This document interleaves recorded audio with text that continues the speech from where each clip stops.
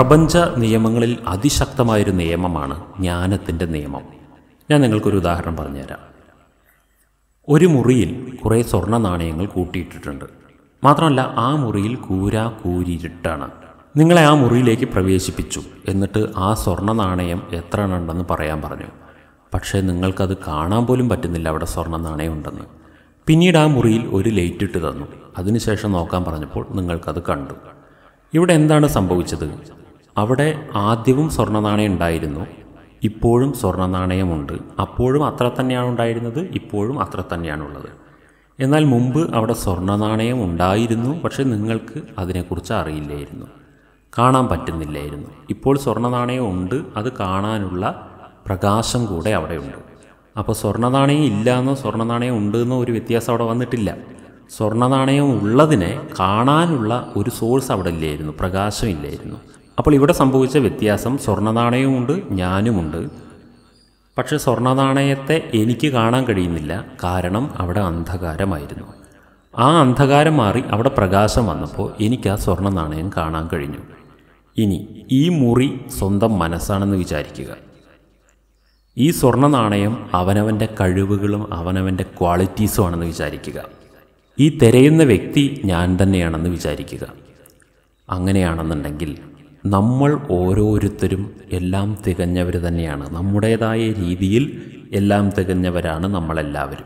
എന്നാൽ നമ്മുടെ ഉള്ളിലുള്ള നമ്മുടെ കഴിവുകളെ നമ്മുടെ ഗുണങ്ങളെ നമ്മുടെ മൂല്യങ്ങളെ നമ്മൾ തിരിച്ചറിഞ്ഞിട്ടില്ല തിരിച്ചറിഞ്ഞിട്ടുണ്ട്. ഈ കാര്യത്തിൽ മാത്രമാണ് വ്യത്യാസമുള്ളത്. അതായത് ഈ ലോകത്തിൽ ഉള്ളിൽ ഒരുപാട് എന്തൊക്കെയോ ഉള്ളവനും ഉള്ളിലൊന്നുമില്ലാത്തവനുമായിട്ട് ആരുമില്ല. ഉള്ളിലുള്ളതിനെ തിരിച്ചറിഞ്ഞവനും തിരിച്ചറിയാത്തവനുമുണ്ട്. ഈ തിരിച്ചറിയലാണ് ജ്ഞാനം എന്നതുകൊണ്ട് ഉദ്ദേശിക്കുന്നത്. അതുകൊണ്ടാണ് ജ്ഞാനം പ്രകാശമാണ് എന്ന് പറയുന്നത്. അതിന്റെ അർത്ഥം ജ്ഞാനം ഒരു തരം ലേറ്റാണെന്നല്ല. ഉള്ളതിനെ ഉള്ളതുപോലെ അറിയാനുള്ള കഴിവിനെയാണ് ജ്ഞാനം എന്ന് പറയുന്നത്. അതാണ് ആ വെളിച്ചം ഓൺ ചെയ്തപ്പോൾ മുറിയുടെ ഉള്ളിൽ സ്വർണ നാണയം കണ്ടതുപോലെ നമ്മുടെ ഉള്ളിലെല്ലാം ഒരു ലൈറ്റ് ഇടാനുണ്ട്. ആ ലൈറ്റിന്റെ പേരാണ് ജ്ഞാനം. ഇതുണ്ടെന്നുണ്ടെങ്കിൽ നമുക്ക് എവിടെയും വിജയിക്കുവാൻ പറ്റും. ഈ ലൈറ്റ് ഓൺ ചെയ്യലാണ് ജ്ഞാനം എന്ന് പറയുന്നത്. അല്ലാതെ ഈ ലോകത്തിൽ ഒരുപാട് കാര്യങ്ങൾ പഠിച്ചു വെക്കലല്ല ജ്ഞാനം. അതിനേക്ക് അറിവ് എന്നാണ് പറയുക.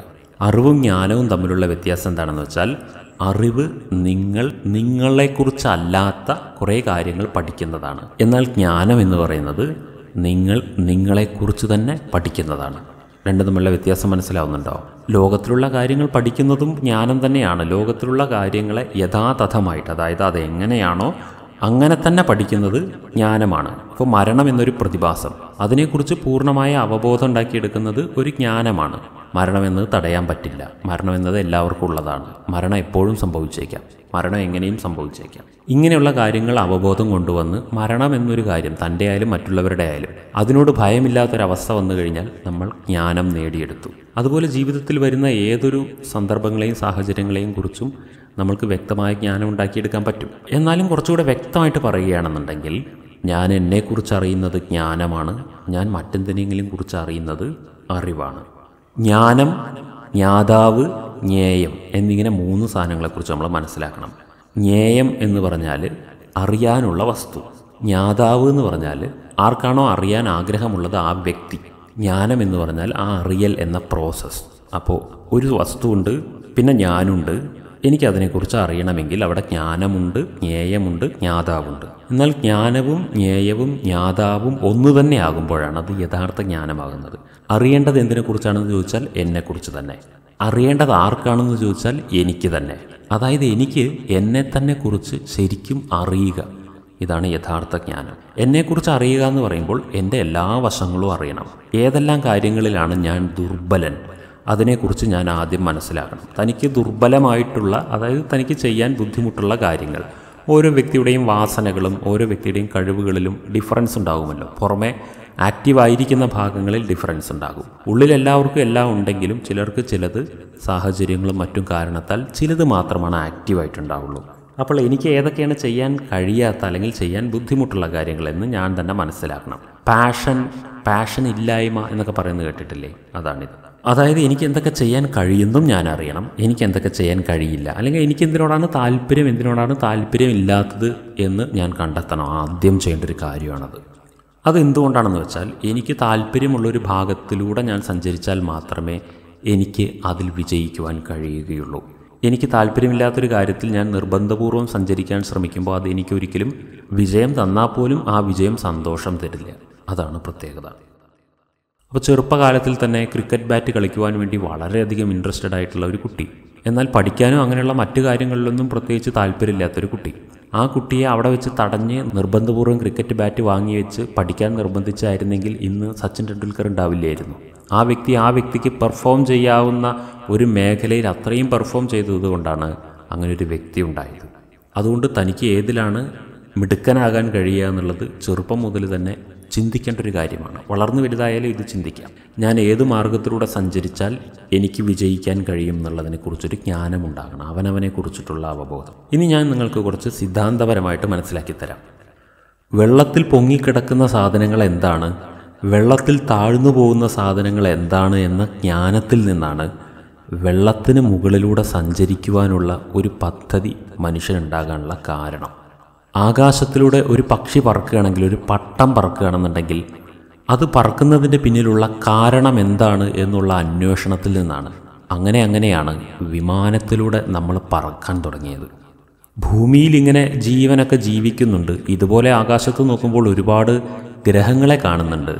അവിടെയും ഇതുപോലെ ജീവനെങ്ങാനുണ്ടെങ്കിലോ എന്നുള്ള ഊഹത്തിൽ അടിസ്ഥാനപ്പെടുത്തിയിട്ടുള്ള ഒരു ജ്ഞാനമാണ് മനുഷ്യനെ ബഹിരാകാശ യാത്രകൾക്ക് പ്രേരിപ്പിക്കുന്നത്.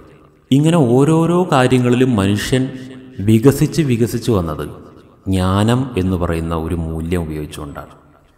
രണ്ട് കാര്യങ്ങൾ നമ്മൾ ശ്രദ്ധിക്കണം. ഒന്ന് ജ്ഞാനവും മറ്റൊന്ന് വിജ്ഞാനവും. ഇത് ആധുനിക രീതിയിൽ ഈ വാക്കുകൾക്ക് വ്യത്യാസം വന്നിട്ടുണ്ടാവും. എന്നാൽ പരമ്പരാഗതമായിട്ട് ജ്ഞാനം വിജ്ഞാനം എന്നീ രണ്ട് വാക്കുകൾ പൊതുവെ ഉപയോഗിച്ചു വന്നിരുന്നു.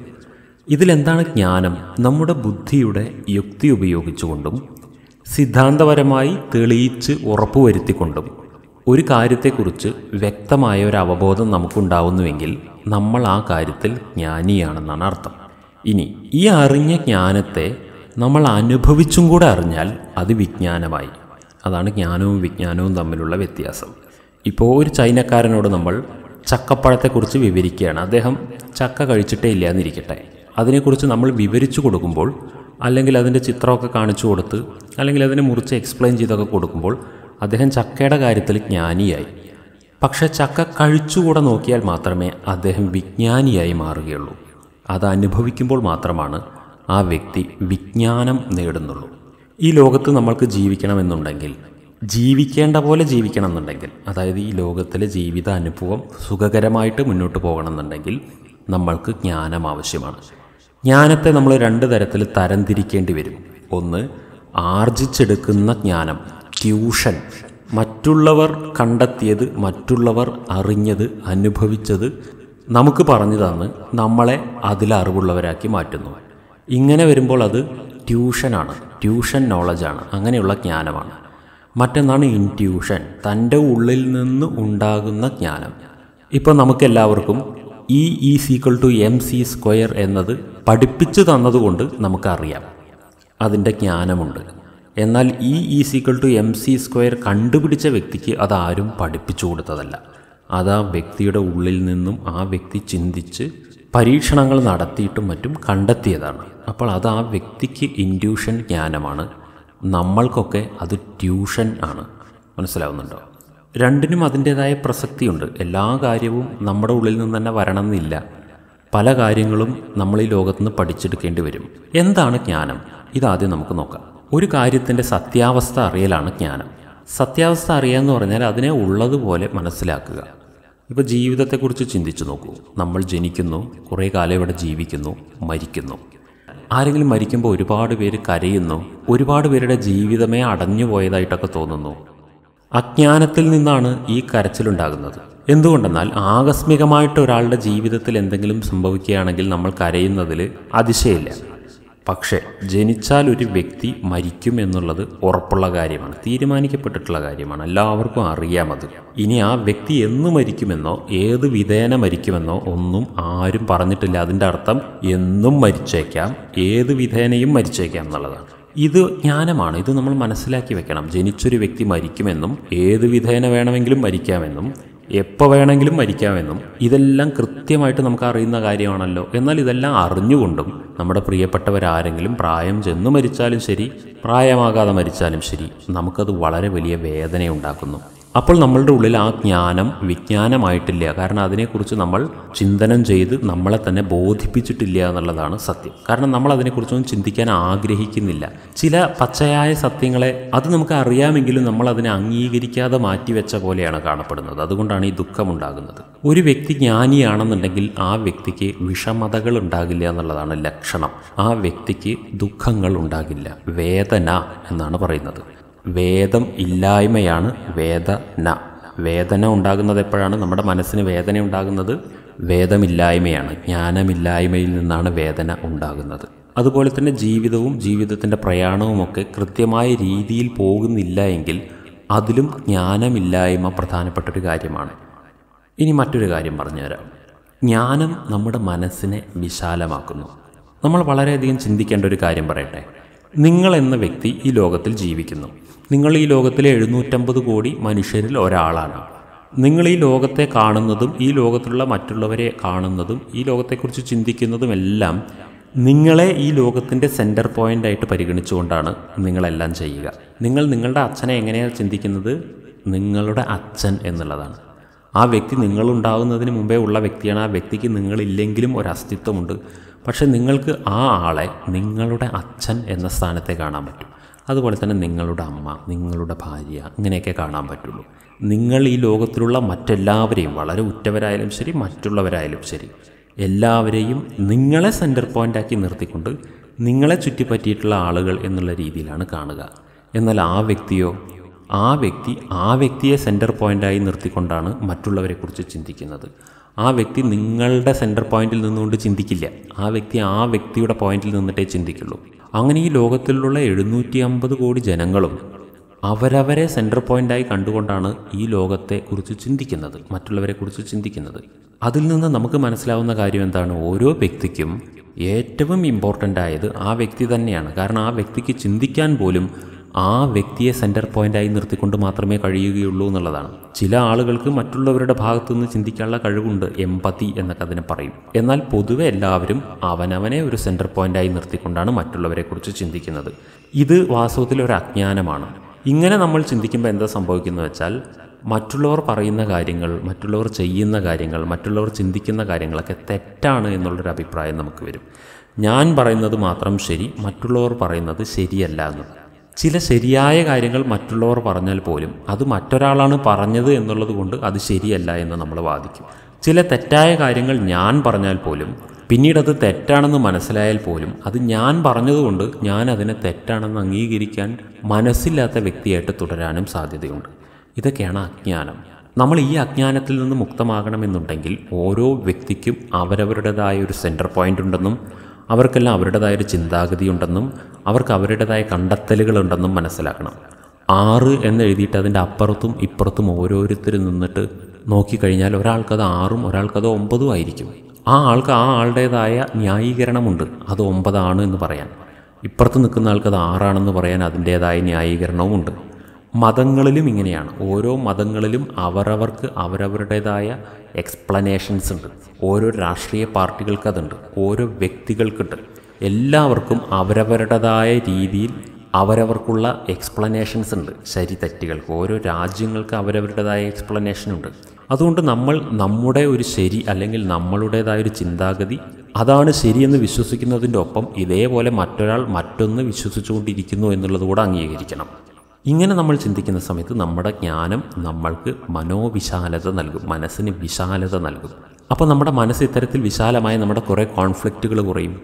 എനിക്ക് എന്റെ ജീവിതത്തിലുണ്ടായിട്ടുള്ള പ്രധാനപ്പെട്ട ചില ഗുണമാണ് ജ്ഞാനം എന്റെ ഉള്ളിലുള്ളത് കാരണത്താൽ എന്റെ ഉള്ളിൽ ചെറുപ്പത്തിലെല്ലാം അതിശക്തമായ രീതിയിലുള്ള മതത്തിന്റെയും രാഷ്ട്രീയത്തിന്റെയും ഒക്കെ ചിന്താഗതികളുണ്ടായിരുന്നു ഞാൻ ഇഷ്ടപ്പെടുന്ന മതം അല്ലെങ്കിൽ ഞാൻ ഇഷ്ടപ്പെടുന്ന രാഷ്ട്രീയ പാർട്ടി ഇങ്ങനത്തെ കാര്യങ്ങളിൽ ആരൊക്കെ ഉണ്ടോ അവരെയൊക്കെ എനിക്ക് വലിയ ഇഷ്ടവും അതിൽ ഉൾപ്പെടാത്തവരെയൊക്കെ അവരൊക്കെ ഏതോ വേറെ ആരോ ആണെന്നുള്ള ചിന്താഗതി ഉണ്ടായിരുന്നു. എന്നാൽ എപ്പോഴാണോ ജ്ഞാനം എന്റെ ഉള്ളിലേക്ക് വന്നത് അതോടുകൂടെ അങ്ങനെയുള്ള മതിലുകളെല്ലാം പൊളിഞ്ഞു. ഇപ്പം എനിക്ക് ഒരു അന്യമതസ്ഥൻ എന്ന ചിന്താഗതി ഉണ്ടാവാറില്ല. അന്യമതസ്ഥൻ എന്ന് ചിന്തിക്കണമെങ്കിൽ ആദ്യം ഞാൻ എന്റെ മതം തീരുമാനിക്കണമല്ലോ. എന്റെ മതം മനുഷ്യ മതമാണ് എന്ന് ഞാൻ ചിന്തിക്കുന്നു. അതുകൊണ്ട് എനിക്ക് ഒരു മതത്തിന്റെ പേരിൽ അല്ലെങ്കിൽ ഒരു രാഷ്ട്രീയത്തിന്റെ പേരിൽ ഇങ്ങനെയുള്ള ഒന്നിന്റെ പേരിലും അയാൾ വേറെയാണ് എന്നിൽ നിന്നും. അയാൾ വേറൊരു ടീമാണ്. ഇങ്ങനെ തോന്നാറില്ല. ഇത് എനിക്ക് ജ്ഞാനമാർജിച്ചതിൽ നിന്നുണ്ടായ പ്രധാനപ്പെട്ട ഒരു ഗുണമാണ്. അടുത്ത കാര്യമാണ് ജ്ഞാനം കഠിനതകളെ കുറയ്ക്കുന്നു. ഒരു വ്യക്തി നമ്മളോട് കോപിക്കുകയാണെന്നുണ്ടെങ്കിൽ നമ്മൾക്ക് പെട്ടെന്ന് ആ വ്യക്തിയോട് തിരിച്ചു കോപം ഉണ്ടാകാൻ സാധ്യതയുണ്ട്. വലിയ പ്രശ്നങ്ങളെ കുറിച്ചിട്ടല്ല പറയുന്നത്. ചെറിയ ചെറിയ നമ്മുടെ വീട്ടിലൊക്കെ നടക്കുന്ന നിരന്തരം ഉണ്ടാകുന്ന സംഭവങ്ങളില്ലേ സംഘർഷങ്ങൾ അതേക്കുറിച്ച്. അപ്പോൾ നമ്മുടെ വീട്ടിൽ തന്നെയുള്ള ഒരു വ്യക്തി നമ്മളോട് കോപിക്കുന്നു. അപ്പം നമുക്ക് ആ വ്യക്തിയോട് ഭയങ്കരമായിട്ടുള്ള വെറുപ്പുണ്ടാവുകയാണെന്നിരിക്കട്ടെ. ജ്ഞാനമുള്ളൊരു വ്യക്തിക്ക് ഇതുണ്ടാവുകയില്ല. എന്തുകൊണ്ടെന്നാൽ ആ വ്യക്തി ഉടനെ തന്നെ ചിന്തിക്കും ഞാൻ ചിലപ്പോൾ കോപിച്ചിട്ടുണ്ടായിരിക്കാമല്ലോ ജീവിതത്തിൽ.